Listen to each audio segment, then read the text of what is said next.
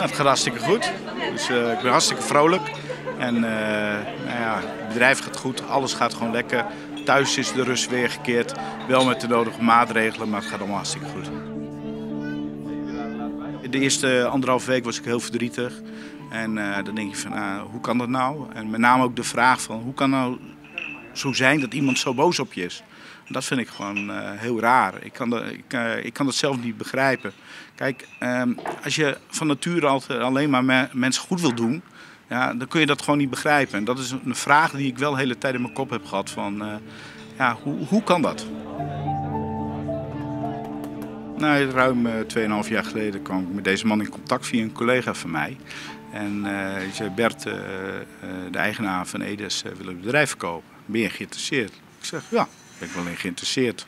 Maar dan ga je met elkaar in gesprek. En eh, eerst begint het met een kennismakingsgesprek. Wat, eh, wat voor persoon is dat? En eh, wat, wat is het bedrijf? En dan uiteindelijk, dan als dat verkennend gesprek goed is geweest, dan zeg je van nou, oké, laten we een stapje verder gaan. Een intentieovereenkomst stel je dan op. En uiteindelijk dan ga je een boekonderzoek doen, een zogeheten due diligence. Nou, tijdens die due diligence nou, mm, vielen er spreekwoordelijk nogal wat lijkjes uit de kast. Dus uiteindelijk, eh, na dat boekonderzoek, heb ik een gesprek met hem gehad, met mijn jurist erbij. En ik heb gezegd van, nou, ga je bedrijf niet overnemen. Nou ja, daarna dan, eh, heb ik hem eh, niet meer gesproken.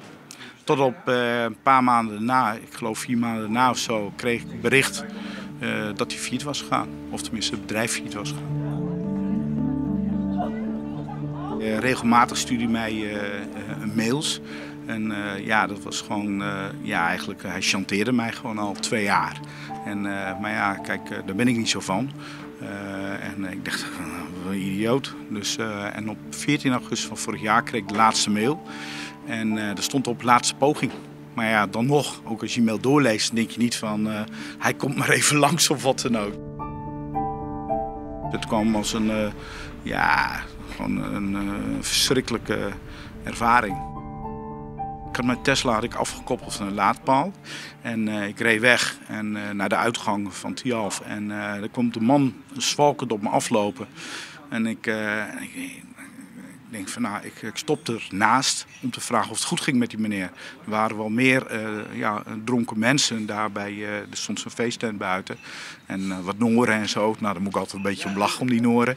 En nou, dus ik dacht echt, het gaat niet goed met die man. Dus ik, ik sprak hem aan en ik zei van, gaat het goed met u? Waarop hij wat bij mijn achterdeur wat moffelde, om, klaarblijkelijk om in te stappen. En waarop ik zei van, hé hey joh, hou op toch, ga weg daar. En ik dacht, eigenlijk gelijk ook van, waarom komt hij dan niet aan de andere kant instappen? Dan breng ik hem naar het houtje toe in Heerenveen of wat dan ook. Dat maakt hem ook niet uit, want ik moest Chinees halen, want ik had kort ervoor net Chinees besteld.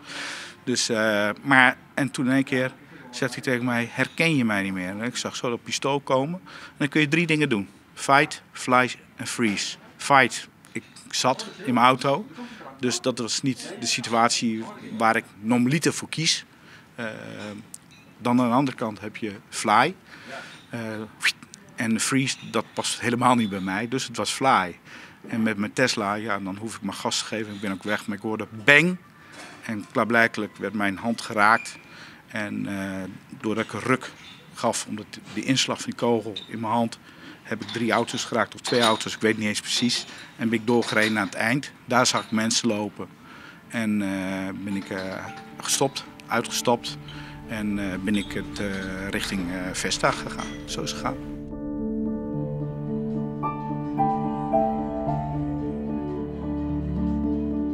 Bij mij is het altijd zo dat ik, ja, ik, ik ben een, ja, een onbevangen iemand. En ik, ik sta midden in het leven. En dat is ook mijn dynamiek en mijn passie. En dat, dat heb ik gewoon. En ja, dan zit je drieënhalf weken in een safehouse. Dan ben je eigenlijk een, een, een tijger die in een klein kooitje zit. Nou, als ik naar een dierentuin ga en ik zie zo'n tijger in zo'n klein kooitje, dan word ik heel erg verdrietig. En dat gevoel heb ik dus wel meegemaakt. En dat is datgene wat deze, nou, deze man mij gewoon heeft afgepakt. Dat is heel triest.